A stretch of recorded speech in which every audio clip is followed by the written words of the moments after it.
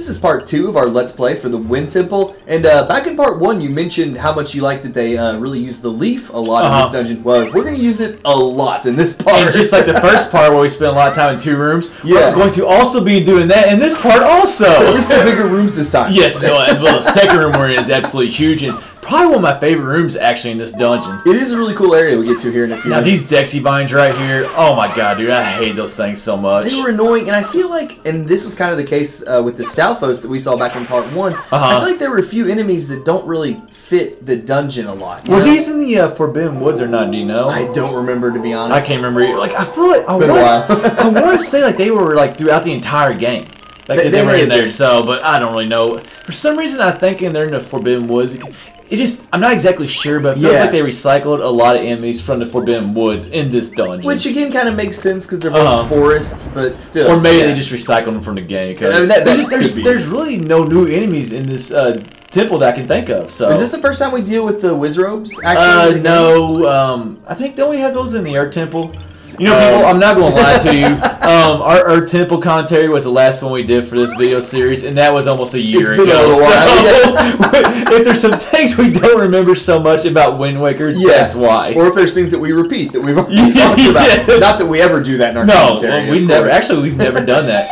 no, no, never once. Now, one thing I didn't like, like, like using like um, bringing up all these trees right here, Mm-hmm. and then like one of the, on the ledges like that. Like right when I saw that, I knew okay, we're getting hookshot. Yeah. In this uh, dungeon, so that's one. That's just I don't know if it's a hint or not, but it just it's something that I for once picked up on very early.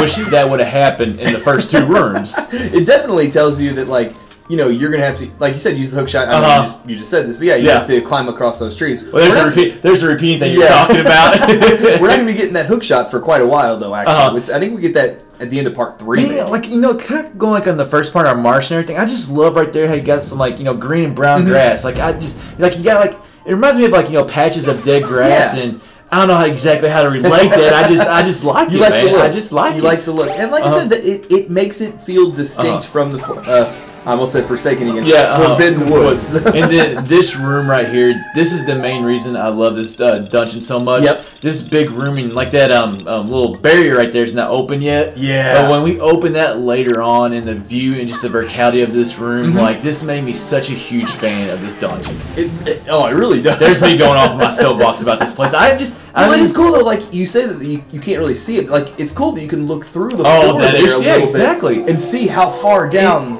go ahead. Yeah, it's like I know we don't really stop and look, Uh-huh. just when you're watching Link walk I around. mean, I'm wasting enough time. I should have. I know. I don't know why I enjoy did the view every now and I mean, I was trying to think. Okay, recording, don't do anything too stupid, but you know, it would have been kind of cool. I guess you can always go back there and kind of look at Yeah. it. So But it is just neat, like since we're not playing it, we're sitting here commentating Uh-huh. our video. It's neat just to be able to, like I said, just kind of look down through that grate and see how far down. it later on, when we open this first part, there's another fan, or not Mhm. a fan, like a little barrier down below that that Yep. covers the big fan. And so that was also cool, just looking through that, seeing that big fan, and like, Oh, yeah. I remember when I first saw that, like, okay, this thing turns on, but I actually never thought that would shoot us up like this huge tunnel, like going all the way up, and just I don't know, man, just this whole room just came together so well. And it's funny because you just think You know, it's okay, not long that you just much. think like standing here, it doesn't look like there'd be a whole lot to this room. oh, definitely, that and that's the thing. Like when that opens, like it's just so much that you didn't expect. Yeah. Expect. It, it's neat though. Like you see it on a few of the walls, uh, like hookshot targets Mm-hmm. on one or two of the walls. You're like, why would there be a target there? This room is, you know. Well, like I said, like when those trees came up earlier, I kind of Yeah. knew right then they were getting hookshot. So Well, I kind of did know what those targets were. Uh, that's the one thing I figured out in this dungeon. Yeah. was that Well- those were hookshot targets. Well, what I meant was though is like, why are they like just here on these walls? It's like you're. It's not a very big room. It doesn't look like right Uh-huh, now. uh, well, yeah, that's So, true, true. Now, obviously, once we open up this floor, you see Uh-huh. how big this room really Which is. Which I don't think we won't be doing that in this part, if I remember correctly. I think it's part three I think well. you're correct. Yeah. Yeah. uh-huh. Now we spent a little bit of time in this next room too. Oh no, it's not this room. This room is like the uh, middle room. Before, Oh, before oh. like the big uh, flying room, I guess you can call Okay, it. yeah, with yeah, the leaf, yeah. Which is just an awesome room. Now, what I really liked was neat. Like, I've always been a fan of the boomerang in Zelda games, Uh-huh. and in this dungeon, because Especially there's- Link's Awakening. Yeah, especially Link's Awakening, where it kills everything. Yeah. But like, just having uh, so many of the Peahats floating around in the boomerang Uh-huh. is very effective for killing them. So I like the fact that we get to use the Definitely boomerang is. quite a bit in this dungeon. I think that's the only way you can kill them at first to like get their like fan thing off. Yeah, Now I think think, so, too. after that you can shoot them with an arrow. You might be able to shoot them with the arrow the first time too. I'm not positive, but You don't want to waste your arrows though. By far, the boomerang is the easiest. I know it's definitely something that we've talked about. It's like you usually get the boomerang very early in the Yep. game, and we always complain about like you know it's not used. Oh, like you get it, and it's just not really used throughout the game.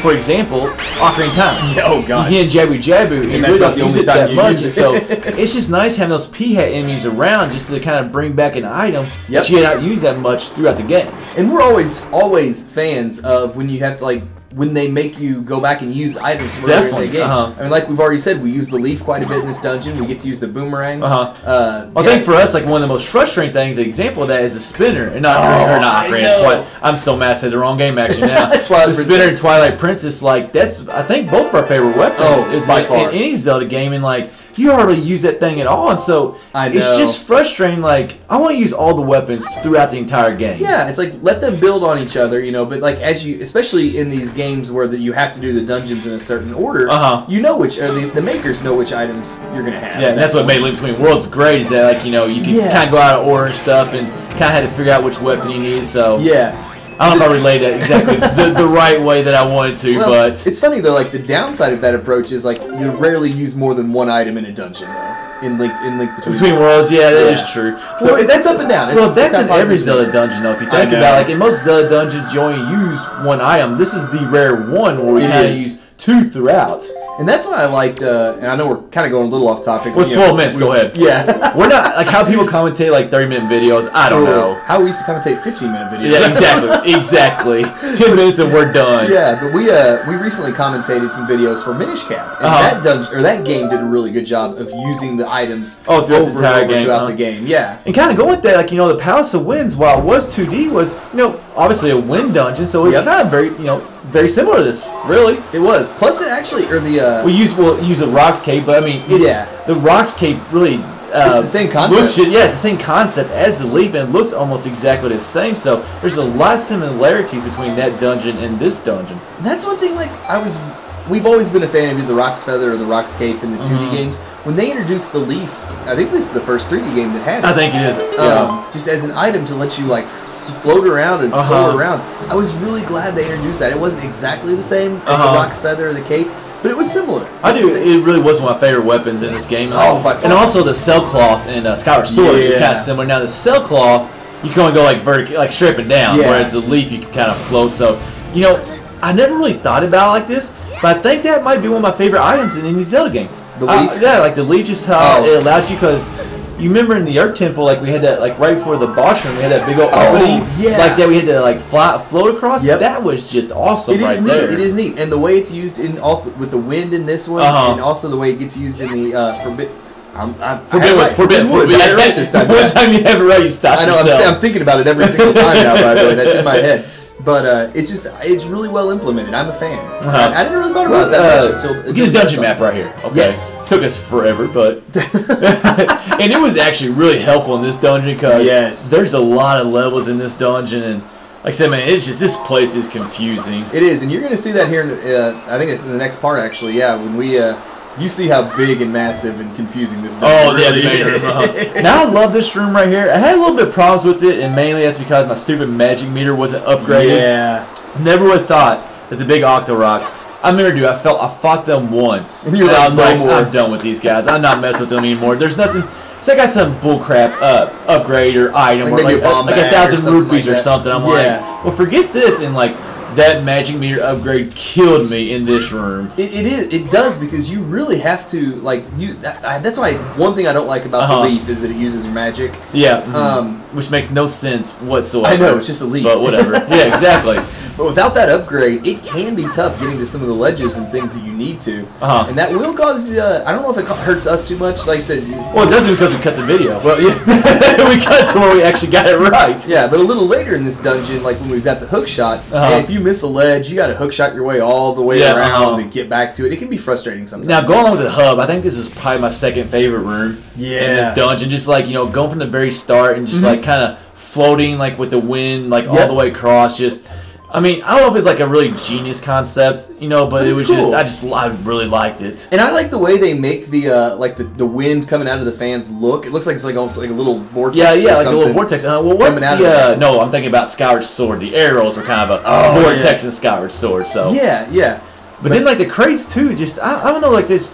Like I said, the atmosphere of this place is just like Yep. there's a lot of good visuals. Like they had to put those crates, or they're not really crates. What do you want to call it? Still doors or uh, Yeah. whatever. Yeah, But they had I to know what you mean. they didn't have to put those in there, but just like those little like fences would be a good there word. you go, fence. Yeah. Those fences with small openings just just add just a little bit to it. Man, you talk about cutting it close to that. Oh, millimeter. dude, I like yeah, I barely made it across there.